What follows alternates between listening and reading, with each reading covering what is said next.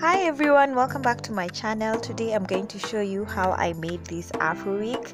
I'm really excited so please stay tuned if you want to know how to make your own wig.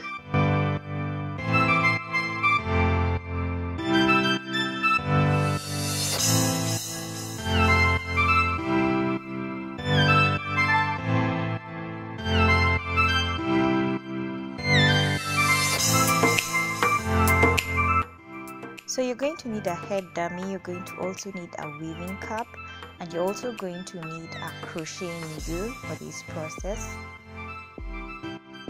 I decided to use the braid temptation number 2 which I have already shown another video where I used it to crochet it on my natural hair because it looks really natural. I'm going to separate the strands before I start but I cut the braid into two because it's long enough. So for the method that I used, you just insert the needle, then you place the hair on the crochet hook, close the hook and pull it down. Then you're going to pass the two strands between the loop that you have created. This is a simpler method for this particular braid because it tends to tangle up as you continue.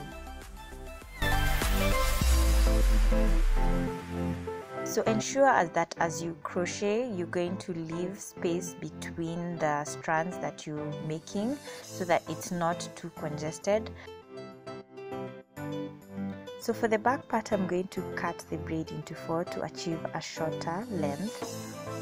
And I'm just going to repeat the method where I insert the needle, place the braid onto the hook, pull it back, and then insert the two strands in between the loop that I created before tightening it.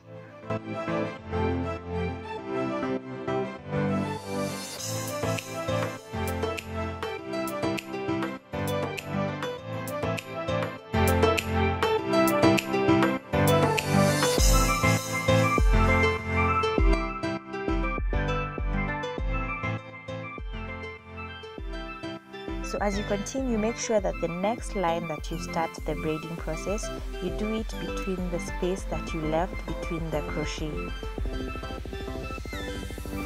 This will enable you to achieve a fuller look without gaps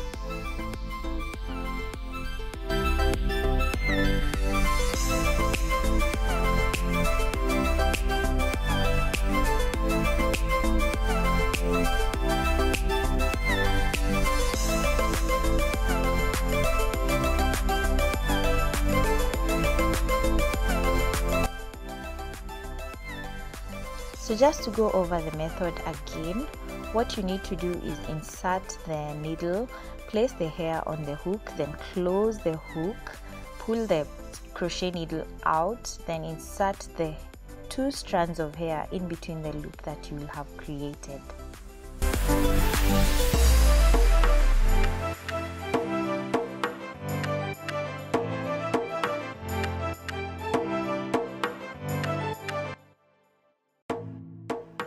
So that's it guys. So as you can see this is how the wig looks like. I'm going to fill up the spaces where I feel the hair is a bit void.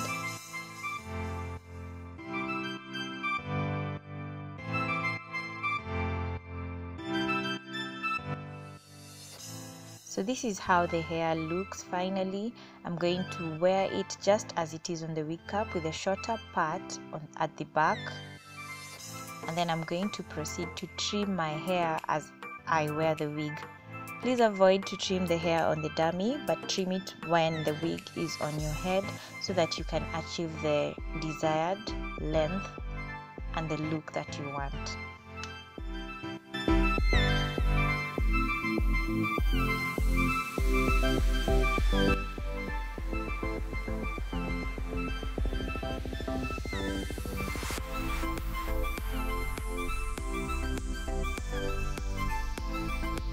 So I really hope that you've enjoyed this tutorial. I was pretty much excited because this was my birthday and remember to give this video a thumbs up. Remember to subscribe to this channel for more videos that I've lined up for you this year and I really hope you have a nice time.